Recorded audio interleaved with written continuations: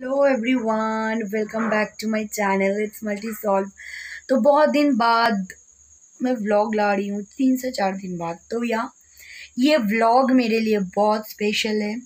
ये व्लॉग मैं क्यों बना रही हूँ, आप लोगों को आगे जाके पता चलेगा। बहुत ही स्पेशल व्लॉग है, क्योंकि आज मैं अगर कैमरा के सामने आके हिम्मत करके बोल रही हूँ कुछ भी इसके पीछे ये इंसान है मतलब भगवान और इंसान मेरे लिए इंसान और भगवान दोनों ही है क्योंकि ये मेरे बाबा है। एंड uh, अगर मैं आज जो भी हूँ जो भी मुझे शक्ति मिली है जो भी कुछ मिली है तो यही इनके लिए ही है। और अगर आप लोगों को प्रीवियस मेरा व्लॉग देखना है गणपति का व्लॉग में कोई लिंक नहीं करूँगी बाबा मेरे ज़िंदगी में कैसे आया था वो आप लोगों को पता चल जाएगा।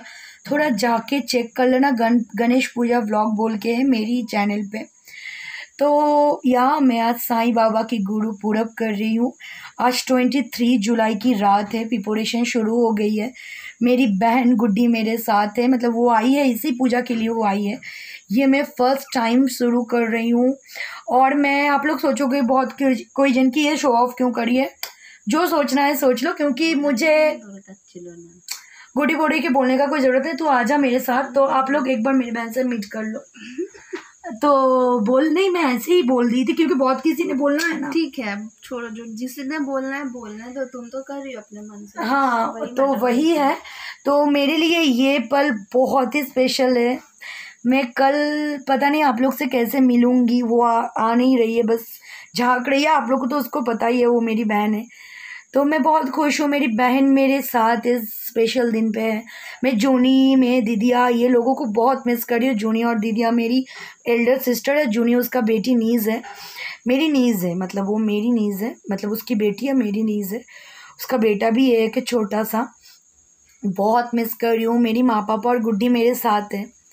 मैंने इस दिन के लिए ना, मैं कभी नहीं सोची थी गाइस कि मैं आज आ, बस अब मैं कुछ नहीं बोलूँगी मैं बहुत इमोशनल रहूँगी।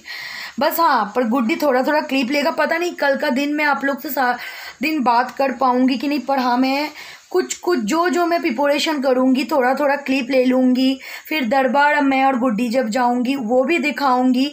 बस आप लोग भी प्रे कर लेना बाबा से कि बहुत खुश रहो मैं भी प्रे करूँगी।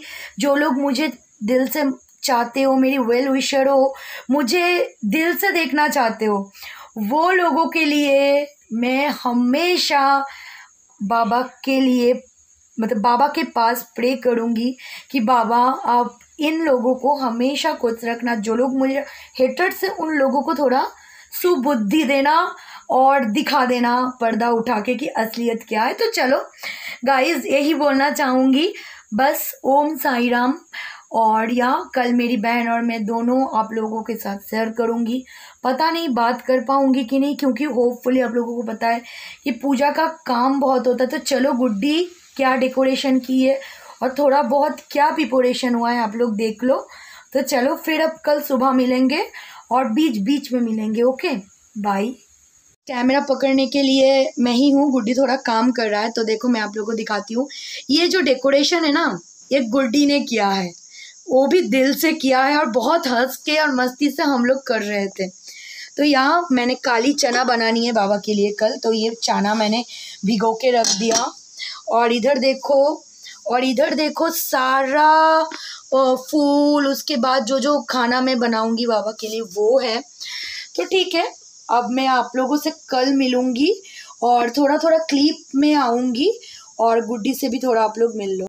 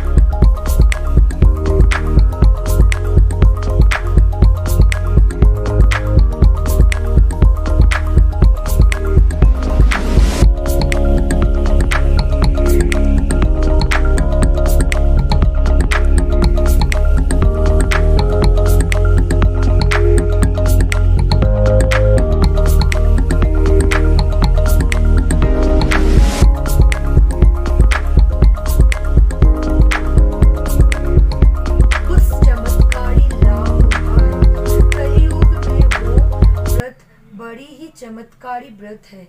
यही सभी मनस्कामनाएँ पूर्ण करता है। लेकिन साईं बाबा पर अटूट श्रद्धा, विश्वास और धीरज रखना ज़रूरी है। व्रतों की करने के समय में किसी भी प्रति ईर्षा दृश्य नहीं होना चाहिए और झूठ, छल, कपट आदि, बुरी आदत के भी आदत नहीं होना चाहिए। साई की शरण करना चाहिए।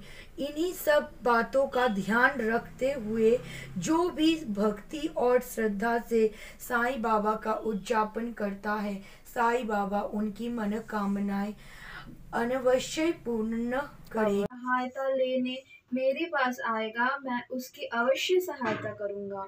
जो भी व्यक्ति मुझे तन, मन और वचन से समरोन करे, करता है, उसका ऋण मुझ पर चढ़ जाता है।